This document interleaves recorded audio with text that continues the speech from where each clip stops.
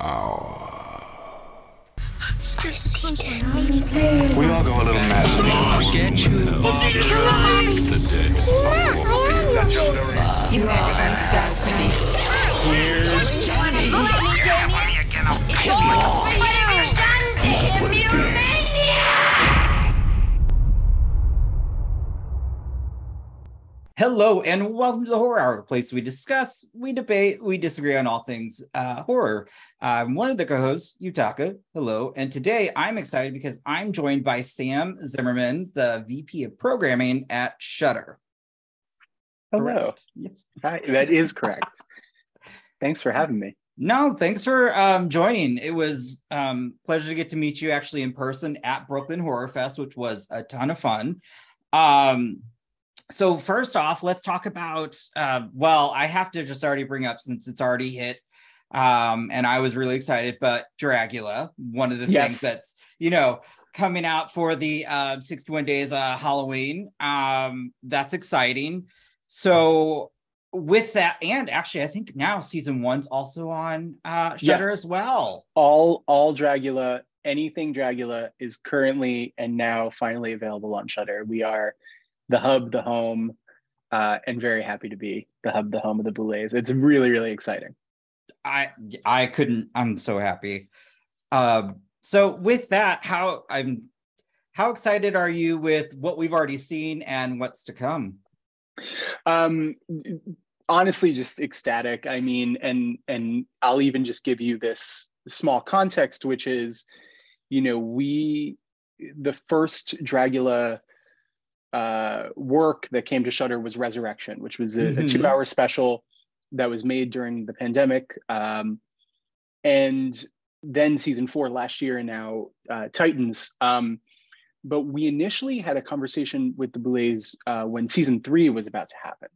So Okay. there's a few of us at Shudder who who had loved Dragula and had loved the Boulets' work, um, and you know for probably very boring reasons, season three didn't work out to come to Shudder. So when Resurrection happened and season four happened, and not only that we were able to bring it to Shudder, but the huge, huge response that Yeah. the Boulets are, are so deserving of, and we Mhm. also knew would happen. Um, to be here now, to to be premiering another season, um, to be post season four, post resurrection, knowing what's to come, which I of course can't say, but knowing what's to come, um, I, I think not only are we happy, but uh, the the team at Shudder who works on the original series and on the original films, we're just happy it happened. You know, there was that moment where we were like, oh no, we we may not get to do this and now it's here and now it's really full steam ahead That's awesome. I tried to get a little info, but no, I I understand. I'm excited for it. Um, the other thing, though, just with uh, you know, I guess the advent calendar, uh, the Halloween, um, just 61 days of Halloween, but just specifically this month alone, you've had a lot of just huge um, things premiere. Um, one of my favorites, I'll actually also ask about as well, is VHS 99. yes And on the heels of that, you'd already released 85. So before I could even catch my breath. Um, so with 99, uh, how excited, or not how excited, but 94 was huge. I remember Yes. the press release and how well it turned out. So to bring it back for 99, what were you most excited about in terms of just this also new crop of uh, writers and directors into the VHS um, family? every uh really everything you know what what what i felt the production team and ourselves had established with 94 was the same the same box to play in with vhs which is kind of go crazy like yeah. really realize your creative ambitions be freaky be fun go nuts but also tie it to this time period so you also it's not unifying in a way that will make everyone do the same thing Mm-hmm. but it is a sense of place it is a sense of time and it is a way to explore aesthetic and anxiety uh, and pop culture all at once so when we landed on 99 we were all really excited. What, how is everyone going to play with it? And i think the team of filmmakers who came together all played with it in really interesting and different ways. You know maggie with shredding really came from it from a music point of view and this turnover right of attitude of what one band was doing in the mid 90s to what this sort of like biting bad attitude kids in the late Yes. 90s would take on. Um, and created something really fun and amazing and then created a band that has like a killer song like it's funny everyone's walking away from vhs 99 wanting the bitch cat song which i love um, Oh, it's already on my phone. I I, I bought that as soon as I saw it was on the um Apple Store. and then Johannes with Suicide Bid, just exploring like that sort of how we were confronting sorority culture and sorority hazing, which we're still doing it, but that's a specific place at a time, especially like the mean girl quality of it. Um, and then Flying Lotus. I mean, that Ozzy's brought back my that brought back memories. All of this entire one really i i mean i grew up in the 90s i i lived that. So yes. that was Oh, I was man, a that- Legends of the Hidden Temple yes. maniac. And which is like when you think back on it it's really funny because that show had legit jump scares right? Like the temple guards would like come out and grab you. Um and with vhs 99 we were building it from the ground up with the entire production team with david bruckner with radio silence with josh goldbloom and really it was a team effort in sort of what filmmaking voices we wanted to see tackle this energy and this aesthetic and with Flying Lotus, we released his first film, Kuso, back in Mhm. 2017. And uh, Flylo and I really connected on taste, on film. I adore Kuso. I think it's one of the boldest films Shudder has ever put out. Um, and we've always tried to figure out what else can we do together. And I know his affinity for the VHS films. So when we were putting this together, I gave him a call and I said, "Hey, would you would you ever be into this? Would you ever want to do one of these?" And it was like a, a silence, and then it was like in Rolling Thunder with Tommy Lee Jones. Like he went, "Let me get my notes." Like he just had this ready to go, and it was really exciting. Um, and it was really exciting when we bought Deadstream at South by Southwest because I I love that film so much, and I love Joseph and Vanessa as really inventive, fun, creative voices. And at the time, you know, they expressed to me, they said, we would love to be a part of a VHS if something can happen in the future. And I was like, the future is now. Like 99 is the train's taking off. Let's get you in there. And to Hell and Back is such a special, incredible twist on the idea of Y2K, a cult around Y2K, going to hell. I mean, it, it was crazy that to me that five movies into a franchise, two filmmakers are like, well, why don't we just send the camera to hell? Um, I love it. I love it. And then Tyler with Gawkers, who to me really captured a specific youth energy of 99. Um, and then also like playing with that a very specific moment in American Pie that we were we were all like Mhm. bombarded by, right? So uh, it's unreal. I think this team really put something very special together. And then 85, I will, I can only tell you that it it is well, it's going to blow minds. I as soon as you listed um the directors list as well, uh one of the things like because of 94 I discovered um you know Chloe Okuno whose Watcher is also on Shudder and Unreal. Oh my god so good but um you know I've got my uh Hail Raatma stitched all back there as well so when that was a moment that I was screaming in the theaters when I saw that but yeah and then I saw you have Gigi Saul Guerrero, Scott Derrickson, David Bro- I mean, like the list is ridiculous. And um, it's great to see that you guys keep bringing back um, like just incredible talent, but also spotlighting new talent as well. I, I mean, that's the joy of these movies, and I think what the what they can do should they continue is be a space where you'll get introduced to some voices that are are just going to blow your mind and really take you by storm, and you're going to sit up and go, "Who is this? I can't wait to see everything else they do from here." I mean, Chloe was already like that. I mean, so many people had seen her short film Slut and oh, been Oh, such a good one. so taken with it. So we felt really lucky that Chloe came on to VHS 94 and then knocked it out of the park in the way she did. So I think with 85, if if you haven't watched Imitation Girl, if you haven't watched Lucky, I think Natasha Kermani is really going to blow your mind. Um, Gigi, of course, I think everyone has a sense of what Gigi does and can do. I think she's really going to turn heads with how she's kind of subverting that here. Um, working and Mike Nelson, who made the new wrong turn, again, he still feels like a, a, a voice that people are getting to know. And Mhm. I'm really excited for everyone to understand like what he's come up with for 85, how he's working within it. And then we have the joy of, of folks like David Bruckner and Scott Derrickson who are now on a new level. They're on a different level. I mean, David Bruckner has come so incredibly far from the first VHS, from the signal. Here is now a space where he really gets to play and do something a little like down and dirty. And I think, and I hope Scott Derrickson felt the same way. You know, he's working on this major, major level. He's a major filmmaker. Maybe here he can explore some deeper, darker depths. And we have, you know, we'll roll out the carpet for him to do that, you know? I love that. Um, and just speaking of your programming, though, what does it take to, um, I guess, land a film at Shudder?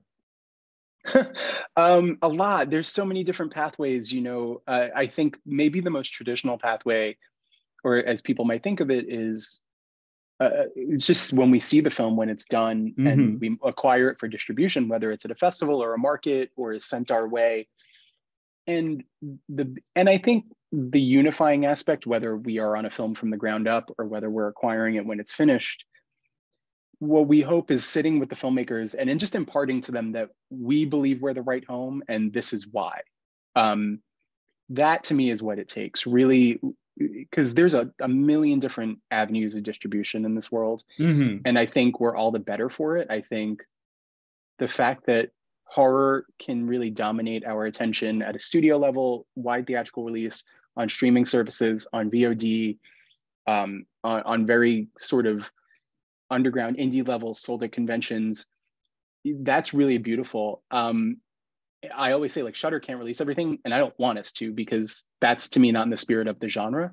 Mm-hmm. When we see a movie we believe we're really the right home for, we have to make that case, you know, and not rest on our laurels, not be um, overconfident and just say like here's what we think we can do with this movie here's why we think we would do that and here's what we love about it and the filmmakers that respond to that we're really thrilled when when they go with us and when they get to come to our platform and we get to release it in whichever way we see fit because we get to be really nimble we get to re- be really playful.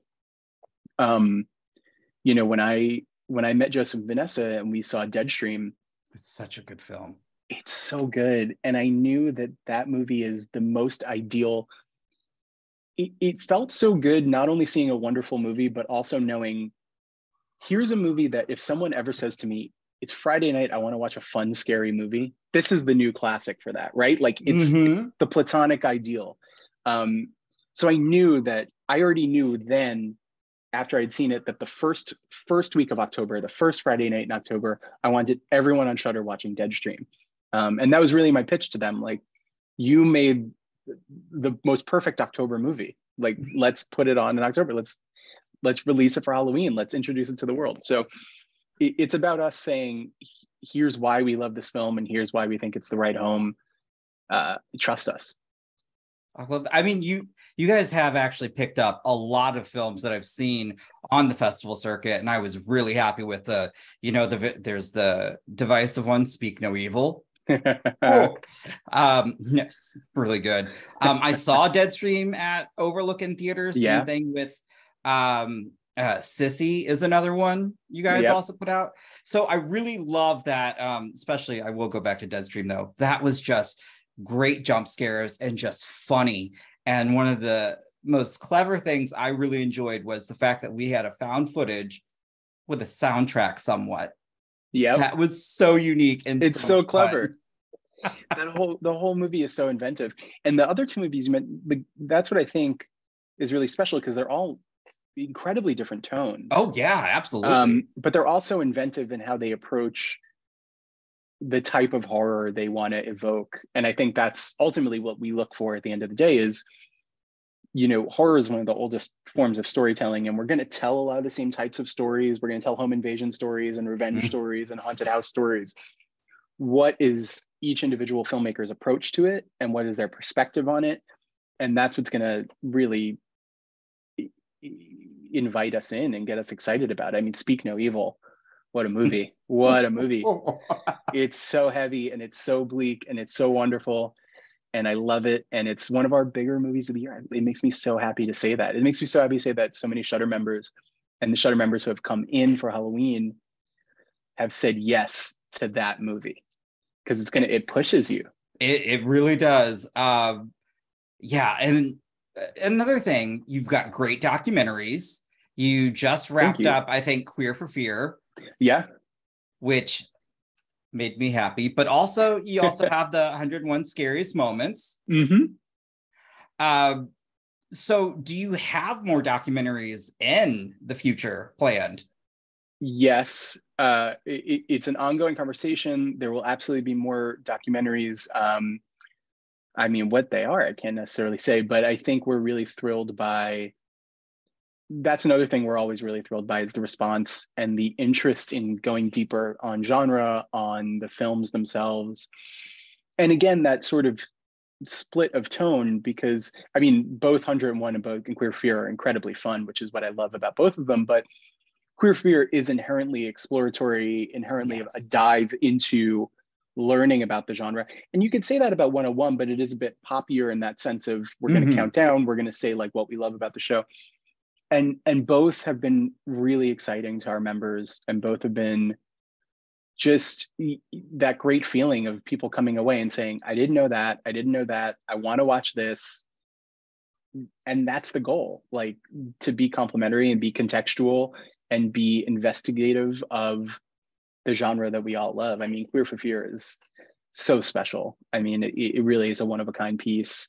And 101 rules. And it, being a part of 101 was really fun because then you get to just like it, really say like what you think needs to be there. And you know, I I'm so rarely interested in being like on camera for those types of docs. You know, I, I don't Mhm.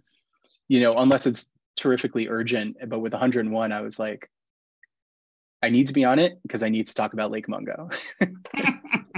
and I need to talk about Inside, and I need these to be represented on a modern countdown show to say, no, these are the new classics. You know, Lake Mungo to me is one of the great horror films of all time, and it's let's cement that in in whatever way, in whatever space that Shudder is allowed to cement it. Let's cement it. Inside is a film that uh, I was recommended and I watched and I go, wow. Hmm. It was good though. But It is my favorite horror movie from 2000 to 2010. whew. Um, another great thing that I do um, I love about Shudder, which was I will have to, yeah, I'm a shill for Shudder, but I, I will have to say I loved um, Brooklyn Horror Fest and some of the stuff Yeah. that you all presented and just uh, the, you know, interaction with the fans. So what I'd like to know is from Brooklyn Horror Fest, what did you enjoy the most? Um, at any festival thing I enjoy the most is a seeing things that have not been on my radar. Um, Okay. That's all like Mother. There's a film called Mother Superior at Brooklyn Horror Fest, which I really really liked, um, and that had just not come across me at all. So I was so thrilled to sit down, check it out, and just see a movie. It, retrospective screenings are always a thing I love the most too. I mean, the fact that they were doing a full Fulci retrospective, and Fulci is one of my favorite filmmakers. They played some of his stranger stuff too, things like Manhattan Baby, um, which we just put on Shudder, along with like Enigma and Demonia, which are later Fulci and can be disparaged, but I think Enigma is really special. So um, it- it's always the joy of getting to see that stuff on the big screen rules. But then also just like sitting down and talking to people. I mean, that's the best thing about any festival is getting to see movies together and then talking about them and and hearing opinions that you agree with, disagree with, uh, make new friends with. I mean, it's it's rad. And Brooklyn Horror has great programming. I mean, they did a ton of new films. They did a Fulci retrospective, and they did a new French Extremity. Which it was like it was like a festival made for me this year. it was I I had a lot of fun. There were some films I was not expecting and then there were films that I I mean as soon as I saw I will be honest VHS 99 I go I need to see that on the big screen. I Yeah. I was like that that that sold me. And then there were just other things that just kind of just wowed me while I was there. Uh when it comes to also horror or just kind of picking when you want to um or at least the categories that are on Shudder. One of my favorite Sure. things, again, we're a queer podcast, but 24 7, you still have that section. Whereas, Yeah. you Oh, know, yeah. some companies will drop us as soon as, you know, you know, first of the next month. ends. June. Oh yeah, June Yeah. ends. No, I mean, what's the point? right. right? Like, the genre exists. The section of the genre exists. The filmmakers within the genre exists. I mean, no, that collection. I mean, no. it- I, I think there are things we do seasonally, but to me, that's more about opportunity of what can come to Shudder. Mhm. Um, as long as there are queer horror films on Shudder, the collection stays up. Nice. Uh, and what are some of your favorite, I guess, um, subgenres of horror? Oh man, um, I'm a, I love folk horror. Um, it's been really really cool to me that it's become something of a household name. You know, I think with movies like The Witch and Midsommar, um, Yeah. it, it's kind of wild that you know people who aren't who don't deep dive into the genre know the term folk horror. I mean, I'm sure a lot of those people know The Wicker Man. That's a classic, but Oh, just yeah. the term folk horror, just being out in the world as a thing people talk about, is really cool and really exciting, and opens up so much more, so many more avenues to recommendation, which is I really love. I mean, you know, Severin Films put out that tremendous box set uh, that Mhm. accompanied the folk horror doc, which we have on Shudder. We have Woodland's Dark Days Bewitched, as well as a lot of films from that set. And one of those films, Eyes of Fire, I I don't know that without this popular popularization of folk horror, there would have been the avenue to go find it.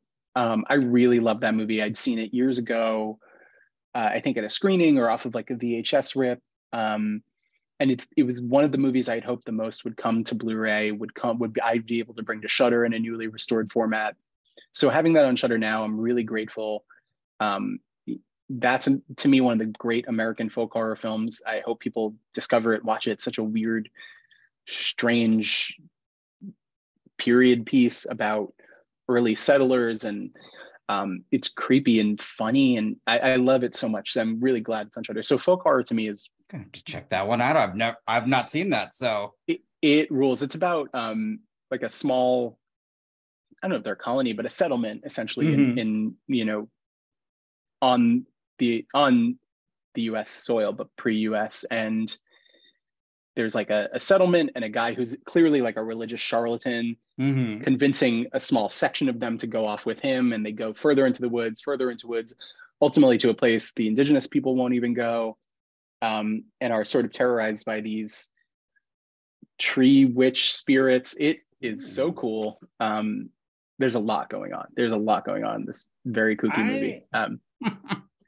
okay, that sounds up my alley. I mean, I will watch almost anything horror. To be honest, I, I can't think of Same. many I won't watch. Um, well, okay, I would say The Exorcist. I won't rewatch it. That that I saw it when I was six. did it just like get you too badly like was it too, Oh, it did. Yeah. Well, Oh, I shouldn't. A six-year-old shouldn't watch it.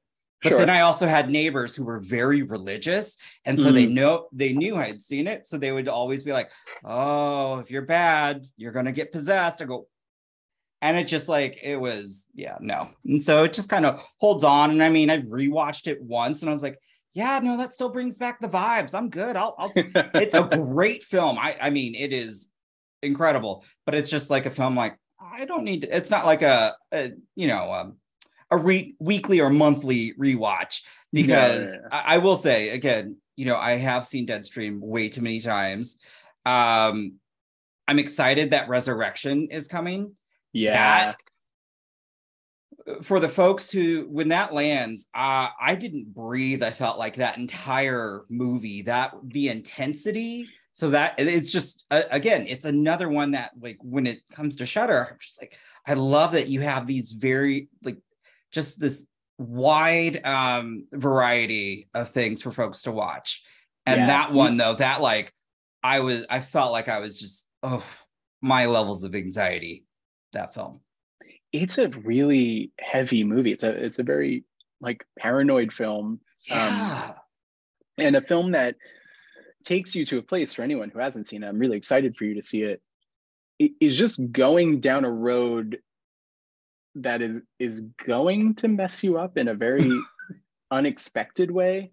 Um, and if you are a fan of Andrei Zulawski, like I, he's one of my favorite directors. This poster right here is for The Devil, um, his 1972 film, and, and I know a lot of people know and love Possession. Resurrection sort of starts off one way, but to me, like really takes you to a Zulawski sort of territory, which is really cool. It's uh, and it's sold too. Also, um, Rebecca Hall's performance, like she's a Yeah. one woman show. Like, I think oh, she's like the best actor alive. I I mean, that was next level watching that. So I'm I'm excited for folks to experience that.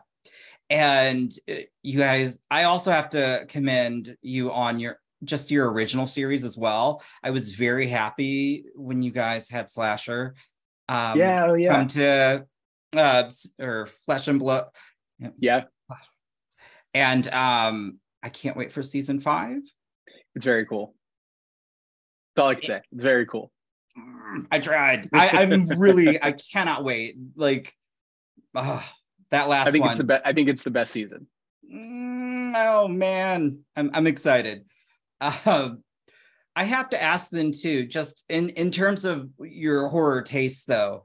Uh, are you a person who enjoys just lots of practical effects, lots of gore, more psychological? Just kind of curious. Mm, I generally, I really, I don't mean this as a cop out. what I, but what I enjoy is the individual aspects of each subgenre deployed sharply and correctly. So Okay. You know like I, I of course i think you meet a lot of people in the world who might say like i love this thing but i don't love gore or i love gore but i don't like this what's more important to me is to feel really deeply affected by the film and by the perspective of the filmmaker so i think you know we released the sadness earlier this year for instance which Ooh, really- was a good one. took me by storm. And what I've said to to a lot of people about it is there are elements of this movie you've seen before Mhm. in terms of uh, how splatter heavy is, in terms of how gory it is, in terms of how far it's willing to go. You know, because it's so clearly influenced by like Category Three Hong Kong horror and things like that. But you haven't seen something like it in a long time if you're familiar with it, and the filmmaking is so terrific that it still hits Mhm. you know because i think you and i a lot of horror fans watching this we've all seen films with that level of gore but not that level of impact. So that's the thing that matters to me. Like if if you want to make a like a really gnarly gory film like hell yeah like let's go for it. I'm not that doesn't turn me off at all. I'm down. What i also want is the impact of the filmmaking to sell it so that i'm not just like like watching another head explode but not feeling how rad it is or how gory it is or how ghastly it is all at once. I mean, so and to me, like oh, another subgenre I love is that era of the sort of post New French Extremity French horror wave. You know, things like Inside, things like Calvaire, um, things like Frontiers that really take you by storm. So, I mean, hell yeah, I love gore. uh, but I also love really like psychologically heavy things. You know, Resurrection is in a world to me of you know very like paranoid dread heavy movies like Mhm. rosemary's baby of course um let's scare jessica to death is one of my favorite movies in the world um the the what i love about the fulci movies a little bit more than sort of how goopy they are is the sort of dreamy haze so anytime that can seep into a movie really excites me um Mhm. And and Let's Scare Jessica does, does that as well. So does a movie called The Child that I really love from like 1977, which almost feels like Let's Scare Jessica to Death and a Fulci movie, like this sort of uh, psychological haze. I'm alone in the countryside. There's a lot of fog. There might be a creature, but mostly I'm just worried and paranoid. Um, I think those are the things that really get me. Um, but I think what working at Shudder for as long as I have has really done is opened me up further because as much as certain things are to my taste, I also have to think a lot about things that traditionally weren't a part, part to my taste, Mhm. but are to someone who might subscribe to Shudder, someone who loves that particular genre. I think for a long time, I was really zombied out.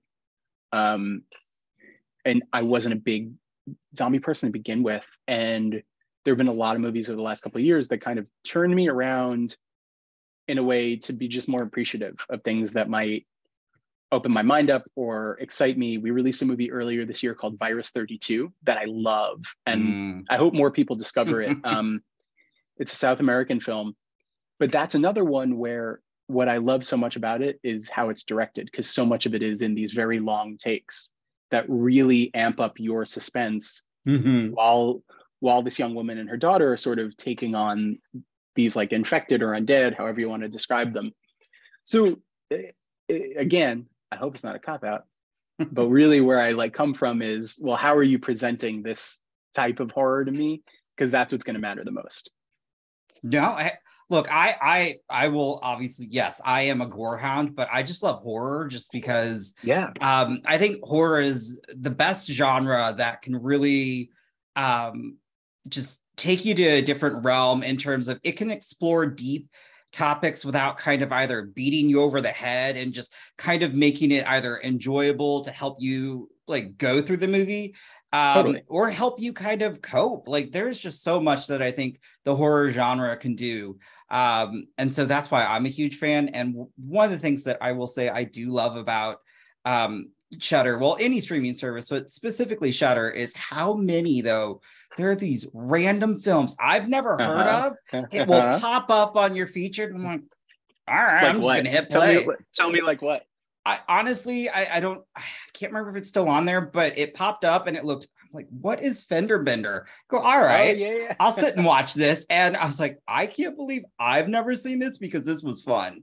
I, I was like, I, I love that type of stuff. And it was just so random. I was like, I can't believe I've I've never seen that. And I was like, I love that Okay. stuff. I I mean that's what I hope we're for too. Like you should you should come because VHS 99 is so anticipated and a lot of people are gonna watch it, love it, but there's gonna be a lot of stuff you might discover. We put on a movie called Sole Survivor a few weeks ago um, from the mid 80s that is directed by the director of Night of the Comet, but is like so much le- less well known. Um. It's so good. I'm so excited for you to see it. It's, I'm gonna watch that tonight, actually. please it and it has this like heavy dread it's um and a lot of people say this it feels like this interesting precursor to final destination and to it follows in a strange way so you'll get this sense while you're watching it that I, I i could never say those movies pulled from it but maybe they were influenced by it in some way Mhm. um but it's it's just moody as hell and i love it, it it's a great watch I'm uh, that's I'm sold honestly. And then of course, uh, bringing back uh, Joe Bob, but also I love now. Um, I know you know we're we're also social media heavy, but I love Mhm. the fact that sometimes I can go on Twitter and the top trending topic is Joe Bob or um, great I think when uh, the Elvira special, I go, that's Yes. just amazing. And last year, Hale Raatma was a Twitter sensation. it's a fun thing for all of us to like rally around and like feel communal, especially these last couple of years where we're like, you know, home. I mean, mm. so many of us were home for such like a like a bleak amount of time and doing things, you know, watching Joe Bob together, watching Elvira. Even earlier this month when we did the the secret screening on Shudder TV, I mean, just seeing people like come together and be like, "What's it going to be?" Oh shit! It's the Argento movie. We're all going to Yeah. watch a new Argento movie together. Like that rules. It's you guys fun. caught me off. I- I'd already seen it, but I was like, oh, damn. And then just seeing everybody's response too. They were freaking. I was like, I love that. I mean, That's the thing. oh, I had seen it probably, you know, three or four times by then, just bec- from when we had seen it, when we had bought it, all that kind of stuff. But then my night just turned into like watching other people watch it and discover it, which is such a great feeling. I mean, that's the kind of feeling I I enter Shudder with. How how can I, you know, help transmit some discovery, some measure of excitement, some measure of joy, and you know, watch people just being like, a new Argento, let's go. It was great. I, I I I really did enjoy that, and I think you know the other things that um, as I had mentioned though, that's my favorite also thing though is just going on Shudder and just again being surprised. And so I know there are, you know, there's some more films that are eventually coming out, but well, no, I don't know. You can't say what hasn't been announced. Um, well, that's a difficult question because I've seen some screeners. Well, like, ah. well, maybe I can, you know, I think there's a lot of stuff throughout the rest of the year that we could probably speak about, um, which I'm really excited about. You know, we've announced Satan Slaves Communion, which is the new Satan Slaves film, um, which is soon. I mean, it's only the first week in November. Um, and that's one I'm really excited about for so many reasons. But you know, in 2018 was when we released Satan Slaves, mm-hmm. uh, Joko Anwar's first film, which to me was just the best haunted house film. I mean, it was so scary. He's such a modern master of horror. So the the fact that we've been able to release that, work on him, work on Impetigore with Joko, work on The Queen of Black Magic, which he wrote and Kimo Stamboel directed, um, now work on this and just continue to work with this filmmaker we admire and respect and love, and then see what he's done with Satan Slaves 2, which is so big. The scale of this movie is nuts. Um, and it's and it's also pulling from things like Demons 2 and like Poltergeist 3 and like high rise horror. It's scary and it's wonderful and it's I, am really excited for everyone to see that. Um, Mandrake is really cool, which is coming in November, and that's a really nice film because I always think a lot about what November needs on Shudder. You know, mm-hmm. we're all we're all going to have a bit of a Halloween hangover. So, what is the tone that might be interesting? You you're probably really stuffing yourself with classics, with with explicitly scary films, with mm-hmm. you know things of a of a feeling of like October. So Mandrake has this cool like almost crime like it's like a witch movie and a crime movie like it, it, it's a procedural but it's a witch movie so i think it's a nice difference of tone from oh like a lot of scary stuff a lot of like straight up like vhs and deadstream um i'm really excited for everyone to see blood relatives um, i cannot wait i saw the trailer and i was laughing I was like, this looks incredible. And also, Hear me Mandra- Mandrake, though, I will say, I'm a procedural, like, I, I I watch way too much Law and Order. So when I saw that pop in, my uh, screener's queue, I was like, "Oh, this is going to be good." It's really cool. Um, it's very moody and and you know, Irish and just this great sort of like rural feel. Um, but Blood Relatives, for everyone listening, hear me out because this is your family movie for November. We're releasing it Thanksgiving week. It is a, it is a father daughter vampire road trip. It is very sweet and it is very earnest and it is very funny. Um, I love it with all my heart. Um, and I'm just, you know, listen, Thanksgiving. That's it, it's it's the Shudder movie you can put on with the fam. Okay, all right. I, I mean, I I'm excited. The trailer sold me. I mean, uh, the one thing that's again uh that makes me think about some of the other releases that you've had previously that i uh, you know um the adams family when it came to hellbender oh, yeah. came out i'm like who are these people and They're then cool. going you know having to go back and just get to um find out more of their work like hellbender was phenomenal and it was great to see that so i'm excited more for again all these other films but because Halloween is coming up, I'm just curious what's on your Halloween playlist. Oh man. Um my wife has never seen Tales from the Hood, so I'm very intent on one. putting that on this week. I love that movie. I love that movie so much. I watched it so much as a kid. Um, so that's the one I've been thinking about a lot lately. It's like, oh, one night this week, we're definitely gonna watch Tales from the Hood. Um, since it's the anniversary, I'll definitely be watching Halloween 3. It's my favorite Halloween movie. Um, uh, I know the tide has turned on it. I'm a little bit worried that soon it'll become cool to dislike it again. Um, however, I will always stand by my position that Halloween 3 is incredible and a wonderful, strange film. Um, I have I have the masks right here. Oh my god! uh, what else? Um, and then I just you know something I always return to is like the the Corman Poe Vincent Price films. I think if it's Halloween weekend and it's sort of a chilly October, I want to watch Tomb of Ligeia and House of Usher um, and Mask of the Red Death. Um, those are things I kind of immediately gravitate toward. Okay. Um, There's also a new Arrow box set of like Italian Gothic horror, and I don't know the films exactly, but I'm definitely going to dive into that. I'm have to look into that.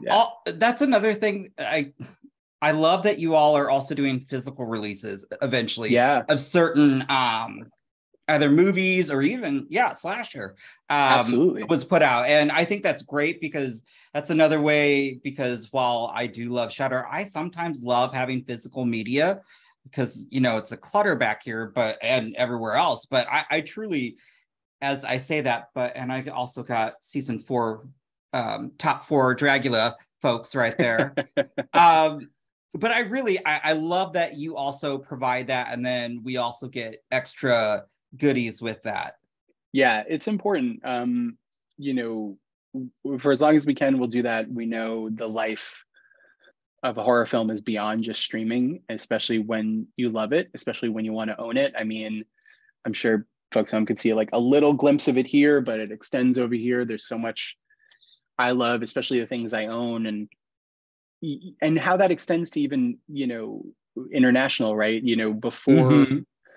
you know, I mentioned Arrow before Arrow was able to secure it for the US. Like, I, of course, had a region free Blu ray player and was buying that Ring box set because Ring and Ring 2 are, you know, monumental to me. Um, so I, I completely agree. I think owning it's really nice. It's really nice when you can, especially a movie you own. Especially, you know, there are a lot, there are so many great releases by companies we work with that Mhm. whether it's Arrow or Severin or Dark Force or Vinegar Syndrome. And they're doing such incredible work, and we get to work with them and bring some of those movies to Shudder. And if you love that movie, you can go buy it. But also, if you've never seen it, sometimes those Blu-rays are kind of pricey. You know, like you should be able to check it out first. No, uh, you know that's look. I I think uh, Shudder is a great price point in my opinion for everything that you get. You're consistently bringing in the newest of the new at times. You're creating original content, but again, you're also bringing content. Maybe even myself, who sometimes I think I've seen quite a bit. I'm like, I can't believe I missed this back from when I was growing up. Now, I, I, I think that's one of you know And and all that really is great. is a cycle too, because I can almost guarantee you a few months before I had that experience, and then now that's why that movie's on Shudder because I want to pass it on, right? Like I do the same thing of like, what is this movie? I watched a movie a few weeks ago called Mermaid Legend that absolutely blew my mind. This revenge film from Japan from 1984. Um, the I'm last 20 up. It's amazing. The last 20, 30 minutes of this movie are the most spectacular sequence of revenge violence I've seen in a long time, maybe ever. Um, and it's by the filmmaker who then did Evil Dead Trap and Evil Dead Trap 2. So he made this a few years before. Um, Okay. it, it's it's hard to find, but it's so great, and that's the best feeling. So, I mean, I don't know when I could bring it to Shudder, but hopefully one day. I'm still gonna have to look that up. I I think Again, absolutely. that do. sounds- I promise. It will. It rules. I can't again. Um, well, actually, here's what I'll end on. Well, two things. One, what is a recent um in the past, you know, 365 days? I'll have to ask, what has been your favorite horror moment, whether it be um, pop culture, a film, a show? What has just been something that um, was exciting to see happen within the horror genre? Oh man. Um I really I right now I really really have to give it up to Terrifier 2. It's the work that they did getting that film out there, the massive success it's having. That film is nuts. That film is a, a, a it's a two and a half hour intensely gory slasher. I mean, it, I, it's the we can all view that as just like the biggest win. So I mean, I've that to me is really special. uh, the fact that it keeps succeeding itself at the box office is also, you know, independent horror has been my favorite thing. Like just seeing Yeah. it finally get more well, it's always been there, but to be pushed to bigger platforms. And I do agree Totally. that Terrifier 2, I mean, seen it Mm, way too many times. But um, I am There's- so happy that they've been able to, uh, on this minuscule crowd-funded budget, put on this massive production and to be able to put it out there on the big screen. it's and it's and this sort of ties into another thing that I think is overall one of my favorite things recently about horror is the way the modes of distribution worked that I think a lot of people thought we would all be seeing the same type of thing, but Mhm. actually we're seeing everyone make very specific work reach bigger audiences. So to me, it's a return to like regional horror in a really cool way. Like Terrifier and and you know Damien's from Staten Island and and it's a very like DIY New York production. Um, Hel- Adam's family who made Hellbender based in upstate New York, doing things by themselves. Uh, Jordan Graham who made Sator. I love Sator. He's uh, in California, not in the sphere of influence of Hollywood. Did everything by himself. Um, I really, really respect that, and I really respect the the movies that are coming out of that, which is again outside of a sphere of influence. It, it's its own thing in a really special way. There's a director named Bruce Wemple. We have his movies on Shutter. I, I'm pretty sure he's in New Hampshire, um, somewhere in New England. Again, he made a movie called Monstrous, which is a Bigfoot movie, but not quite. Like it's also a lesbian serial killer love story with Bigfoot in it. and then he made a movie that's called going The on my. Retreat. I don't know if I can watch all this tonight, but that's going on my list. Well, and then he made a movie called The Retreat, which is a Wendigo movie, but it's also kind of like a, a psychedelic trip movie about male friendship. And then also there's a Wendigo. Like it's he's such an interesting That's filmmaker very doing random. I love thing. that. It's so cool. There's so many of these filmmakers that their work is getting out there. Oh, and the, the Death Drop Gorgeous team just out in Providence, Rhode Island, and making something specific to Providence, Rhode Island, too. Mhm. Like the queer scene in that city, the bars they frequent, the work that they do together. So I think Terrifier ties into that, which is just, I think we're seeing a return of like really independent, really local, really regional horror filmmaking. And now it has the mode to get out there in a way which is rad. I love it. Um, you know, even we we released a movie in the summer of 2020 called The Beach House, which I loved by director Jeff Brown. Um, and he made that in Cape Cod, and it feels like that sort of like a summer Cape Cod movie. Um, I, I I love that energy. It's going to create more perspective and more diversity and more just like different types of horror. So the more we can support that is rad. I, I'm trying to think if I've seen the beach house. I feel like I have, but It's I'm great. gonna, if it's what I'm thinking of, that was pretty uh had some like gnarly or gross out stuff. There's a foot scene you might be Yep. about. Okay. Yep. Yep. I've seen that. That that made me squirm a little. That was that was really good.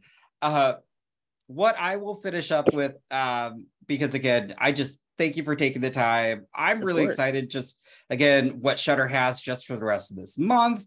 Um and I can't wait for the rest of the year. And so, what I'd like to end on, because I've already, I was walking through a store, I was like, my gosh, they already have Christmas stuff up. So, is there any holiday horror that is coming to Shudder? A hundred percent there is. Um, there's Joe Begos's Christmas Bloody Christmas, which I promise you is going to be the Christmas horror movie. I missed need, that. I'm so excited. You love, you want. It's wild. It is truly wild movie. And in addition to that, we'll have our usual collection of like just really cool old school Christmas horror, some newer contemporary stuff. Um, you know, perhaps Silent Night, Deadly Night 3, 4, and 5. Uh, I'm a big Initiation fan. I'm a big Better Watch Out fan. Better watch Um, out. Oh my gosh. That is, that's a, ho- that's a holiday horror that does not Yeah. get enough credit for. That's a He's good great. one. That'll always be on Shudder. I love uh, Chris who made that. So, um, yes. Oh, and and for the first time, Anna and the Apocalypse will be on Shudder, which I'm really happy about. I've not seen that one. I do remember It's it so good. out. Oh, all right. See, I'm Yeah. already planning. Like you've given me stuff to watch tonight, um, and in the future. And that's again what I love about Shudder. And again, I can't wait to see more of Dragula Titans. Yes, Really, it's oh, it's just getting started. I cannot wait also for Slasher season five, and then just for everybody's reaction to resurrection. That's what i want to Yes. see is people talking about that because i remember sitting in the theaters and everyone's everyone had a different reaction but that ending just said caught everyone. I loved it.